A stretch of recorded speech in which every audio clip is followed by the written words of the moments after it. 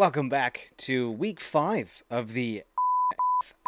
Uh, no, I shouldn't call it. The Welcome back to week five of the fantasy football in Madden 2022. Uh, taking a quick gander here, kind of running down here. The Desert Swarm Gump out there, handing a 42 to seven loss to uh, 42 to seven handy win over the uh, Washington football team, aka the Commanders. Now, taking a look down here, looks like the son of Sabans handled up uh, the you know hand up the oh my god can't talk sons of Saban handed up a handy defeat to the 10 Wolverines out there.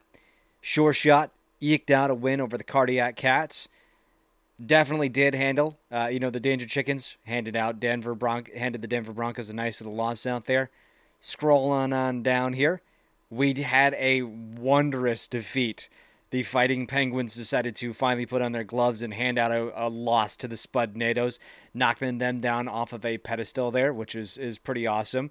I, I know that they were on a track to, to, to do some good. I thought that they actually might have the Fighting Penguins the way that he had been going, but uh, they improve out there. Taking a quick gander here. Tough loss with the Brady Gagas, bringing them down uh, against Kansas City. And then, of course, the Jackson Drive eking out a victory there against the um, eking out a victory against your Kraft mac and cheats. So let's uh, bind up here because I know we have a couple of games to get through. So with the Sons of Saban fighting off against the 10 Wolverines here, offensive yard gain, pretty hefty difference there. There was absolutely zero momentum going on there with the rushing game. Offensive passing, looks like that's where it was heavily favored quite a few extra first downs. Uh, the punt and kick return yards not too handy there. Not that big of a difference against the total yards gained uh, with the turnovers. Very, very decisive gain there for 3 and 0. With the third down conversions actually on par with the fourth down conversion going to our 10 Wolverines. Taking a quick gander here, red zone percentages just a tad bit better there. Uh, six offensive touchdowns going the way of Sons of Saban, whereas only two getting it on for the 10 Wolverines. Then with the uh, red zone offensive field goals, not much re- reaping up there. Fairly pe- unpenalty driven game, which is pretty awesome sauce out there. And then the time of possession is actually fairly fairly heavily. Let's go and take a look at the 10 Wolverines first. Matthew Stafford at a 66.3% rating, 251, two touchdowns, three interceptions, 26 long, and a sack out there. Tua gets some reps in, although he's a 39.5. Looks like he just had an absolute garbage of a day out there. No yards, no interceptions, um, nothing. Uh, yeah, he had one passing attempt that went incomplete. Uh, so, all right, I, I, I didn't know I could go that far over there, but yeah, it looks like it was a pretty pretty hot garbage day. Let's go ahead and uh, jump things up here to the rushing yard. Raheem Mostert, Mostert, uh, eight for 24 with a three average, nothing doing out there. But uh, look at this.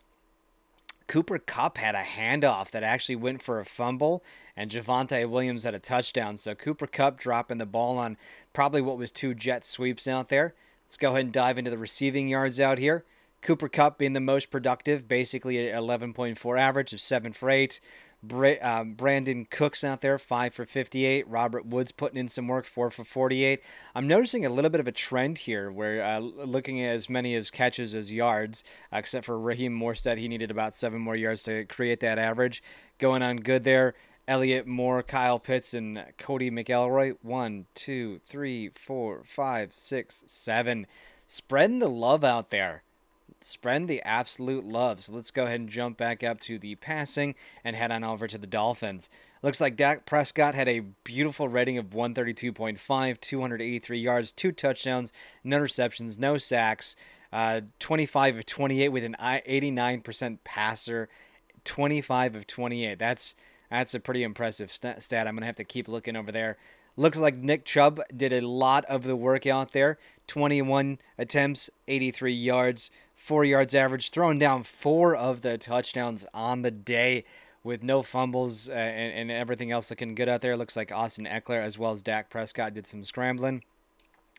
Diving into the receiving, Terry McLaurin did a did actually a decent amount of work and, and shared the load with David Njoku, doing some awesome sauce work about there. Uh, just about you know had less receptions but more yards. And then uh, CeeDee Lamb putting in some good work, as well as Ja'Marr Chase, Asheen, Adam Shaheen, and then Nick Chubb with a little bit of a not not so much love out there, but you know, you know that that's that's fairly decent. And then if we go ahead and just jump right into the next game on the docket here, because this one we actually have three games going on. We have the Spudnados taking on the Fighting Penguins. The Fighting Penguins, 100 extra yards, basically. Uh, like, wow, 120 extra yards out there. Absolutely nothing going there for the Spudnados when it comes to rushing and or passing. Uh, looks like, though, not not too crazy on the offensive yards. I mean, that's usually a pretty decent day for for a rusher. But the offensive passing yards, usually that's that's upwards of 300 or so. Uh, you know, when we take a look at some decent quarterbacks out there, which uh, K1 probably needs to step up his game, and you're damn right I'm throwing that in your face there, Mark. The offensive first downs, like wow, that's that's pretty big. That is massive. The total yards gained fairly even there, just just about an extra 80 yards. Uh, two two turnovers for the Spudnados. They did Spudnado did have the upper hand on the third down conversions, but nothing on the fourth down. But that tells me that uh, you know the fighting Penguins were out there scrapping for everything they could get.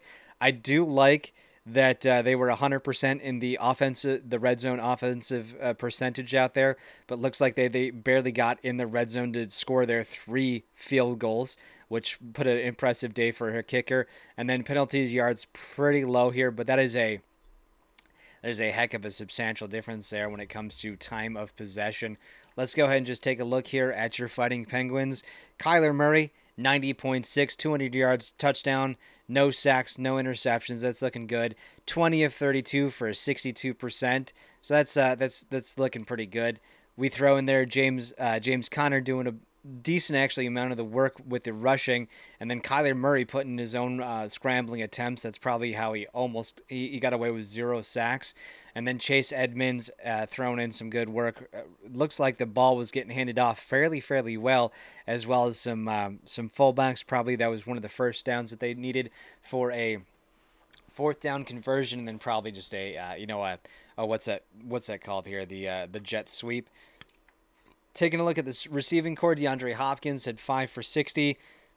Not too many attempts out here, but it looks like when they when Kyler Murray did throw the ball, he he went out nice and good. Tyreek Hill four for five, Michael Thomas six for forty five, George Kittle just one reception at fifteen yards, Gesicki one for eleven, Chase Edmonds two for ten, James Conner one for eight. So spread the love, spread the spread the rock around. That that definitely looks good on you. Let's head on over to Spudnado, where Josh Allen went an abysmal 32.7, 159 yards, two interceptions, two sacks. I don't know why they didn't put Russell Wilson in there.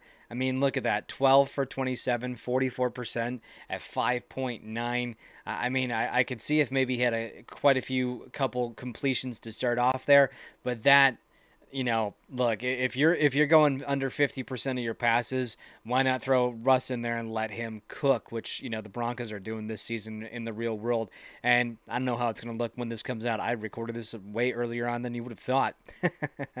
uh, Derrick Henry getting the vast majority of the the rock there, 14 for 53, not too productive. Uh, no fumbles in there. That's good. Aaron Jones getting a couple touches as well as Josh Allen doing some scrambling. And looks like a end around for Chris Godwin there. Taking a look at the receiving core, again, not really a whole heck of a lot. Antonio Brown getting the vast majority of the touches there. Dallas Goedert with two of 32 for 38. Chris Godwin again two for 30. Aaron Jones one for 10. Fant getting a seven yard dump as well as Jerry Jeudy. So not not 100% too productive on that end there which is a little sad to see. But let's go ahead and take a look at the uh, Indianapolis Colts, aka your Jackson Drive, knocking off the the what the Kraft Mac and Cheats, who should have been five and zero oh here. And you know that brings us to a very very interesting point coming up here. Jackson Drive just driving it down the ever living throat of the Kraft Mac and Cheats, putting a little extra milk in the bowl there, making it soupy and just disgusting for everybody because there is there is a perfect percentage of milk to powder ratio that you need, and it sounds like the uh, the Kraft mac and cheese just overdid it. 360 total offensive yards, 111 offensive yards gained, passing yards almost doubled out there. 18 first downs to their 12, 37 punt returns, 84.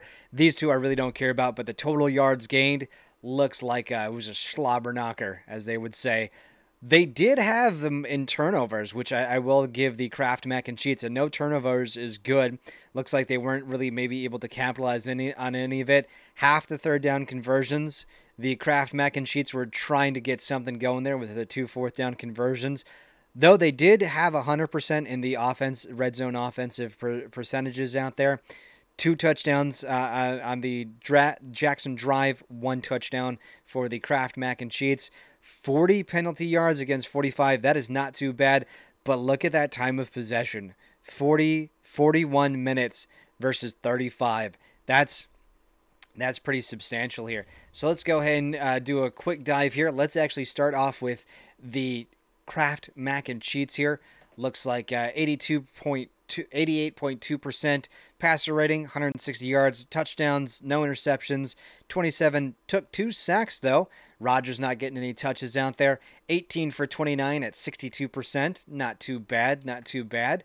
Uh, De- Devin Singletary getting the rock plenty of times out there, but not a whole heck of a lot going with 20 carries for 54 yards.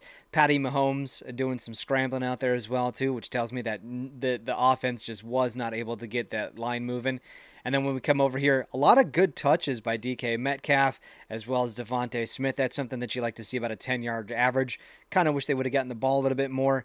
DeVante Parker having a pretty decent productive day, almost three for 40, which would have been great. Devin Singletary getting a few shovel passes out there, probably.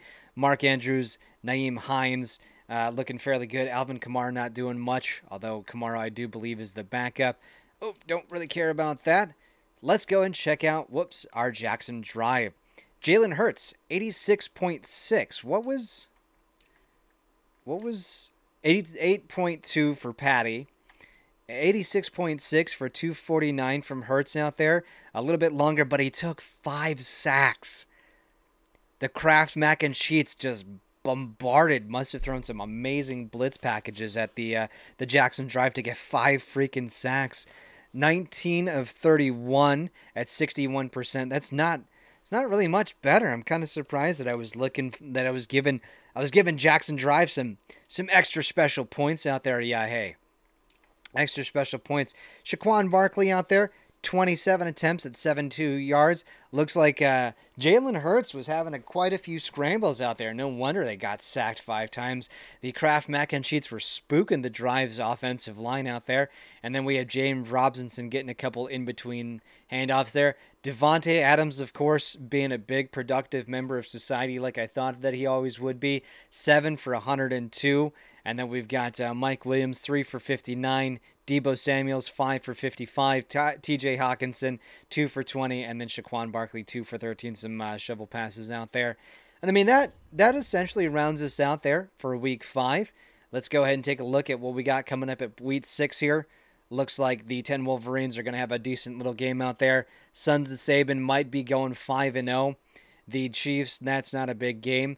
Jackson Drive taking on the Texans. We got the Sure Shots taken on the Bears. That should probably be a decent win for the Packers. We got the Kraft Mac and Cheats taking on the Chargers. Looking at the Fighting Penguins going against the Browns, as well too as looks like uh, I my Danger Chickens have an absolute chance to shine and uh, go five and zero oh against the Seahawks, and then the Brady Gagas are going against the Titans. I think the Sons of Saban are nope. That's right.